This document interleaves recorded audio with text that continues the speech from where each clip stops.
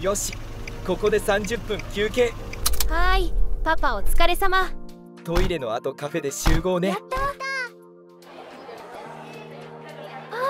美味しかった。ガチャガチャ行ってきていい。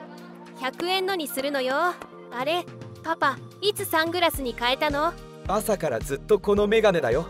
これ紫外線に反応して色が変わる調光レンズなんだけど車のガラスが紫外線カットするから車内だとほとんど色がつかないんだよね。じゃあ運転中眩しかったでしょ。車内でも色が変わる。調光レンズもありますよ。戦隊賞の方ですか？私はメガネで世界に平和をもたらす。メガネの使者。その名も解決メガネマンだ。ちょっとついてきて。この可視光調光レンズなら UV カットのガラス越しでも。ほら。本当だこのレンズどこで買えますか？詳しくは清水メガネで